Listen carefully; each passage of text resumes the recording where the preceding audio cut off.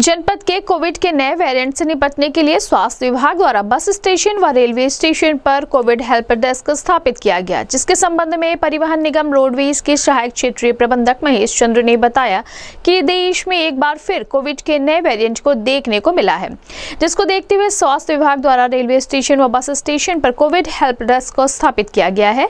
Bus station पर आने वाले यात्रियों का टेम्परेचर चेक किया जा रहा है। सभी अधिकारियों, कर्मचारियों और अधिकारियों का निःशुल्क जाँच किया जा रहा है।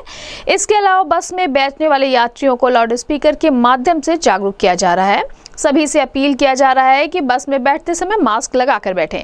इस संबंध में गोरखपुर न्यूज़ से बात करते हुए परिवहन निगम रोडवेज़ के सहायक क्षेत्रीय प्रबंधक महेश चंद्र ने कहा।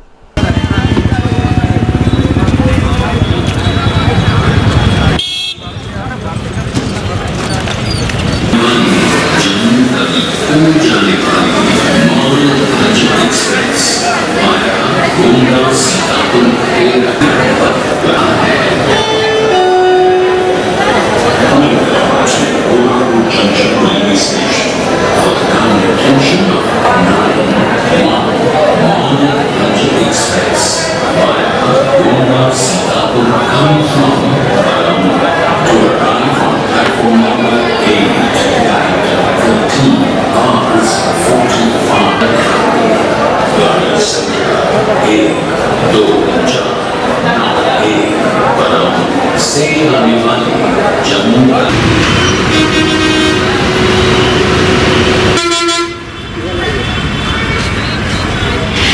Thank you.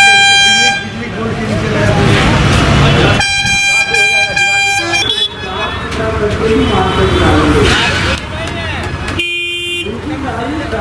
आने वाली जम्मू और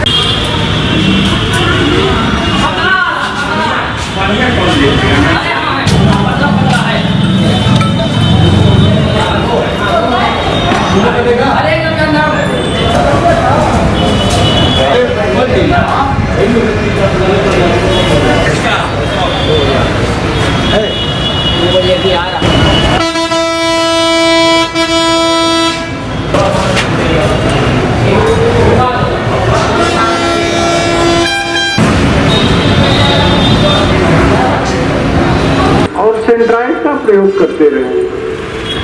धन्यवाद।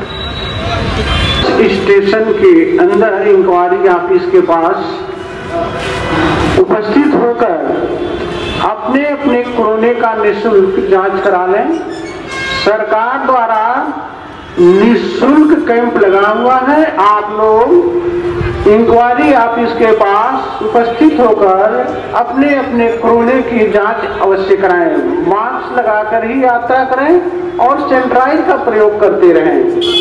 यह समस्त यात्री बंधुओं से निवेदन है कि आप लोग इंक्वायरी ऑफ़िस के पास कोरोना का कैंप लगा हुआ है। आप लोग इंक्वायरी ऑफ़िस के पास उपस्थित होकर अपने अपने कोरोना का टेस्ट निशुल्क सेवा से करा लें। महेश चंद सहायक क्षेत्रीय प्रबंधक रोडवेज़ गोरखपुर। कोविड हेल्प है। ऐसा इधर देश में प्रदेश में कोविड की संख्या धीरे धीरे बढ़ रही है। गोरखपुर के मुख्य चिकित्सा अधिकारी महोदय द्वारा बस स्टेशन पर 8 बजे सवेरे से 8 बजे रात तक दो पालियों में कोविड हेल्प डेस्क बना दिया है। जहाँ कर्मचारियों का, यात्रियों का सब निशुल्क जाँच हो रहा है।